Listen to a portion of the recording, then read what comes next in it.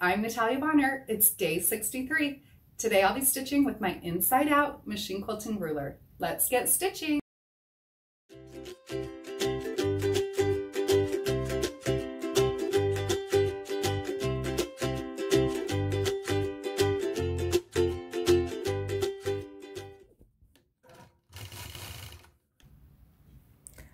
With this particular design, I've gone through and marked my straight vertical lines every one inch using a white Mark B Gone marker.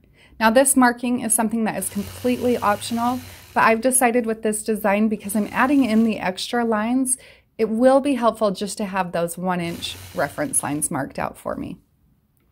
Using my inside out machine quilting ruler, I'll begin stitching the first vertical line. With that line, I'll stitch all the way across my block and then randomly I'm going to add in a straight line that goes over to the side of the block. I'll stitch from my stitch line over to the side, back on my previous stitch line.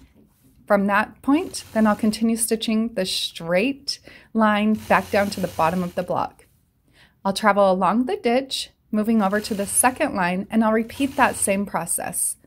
I'll actually repeat the same process all the way across the block, but you'll notice as I'm stitching out this design, to really give it that fun plank look, I'm alternating the spacing. So up at the top, then more towards the bottom, and some kind of more in the middle, all the way across that block.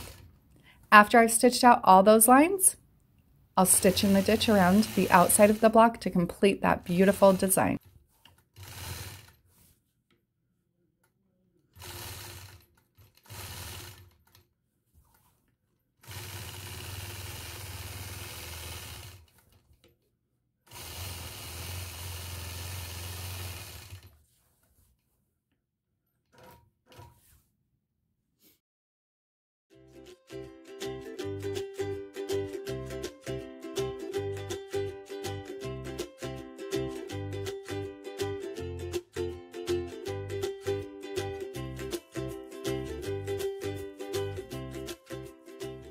Friends. I hope you enjoyed today's block and found a little bit of inspiration with my machine quilting. Now just remember, you can pick up the panel, the rulers, the thread, all of the notions that I'm using in this video today over on my website, pieceandquilt.com. And don't forget to share your progress pictures over on Instagram using the hashtag Let's Stitch with Natalia.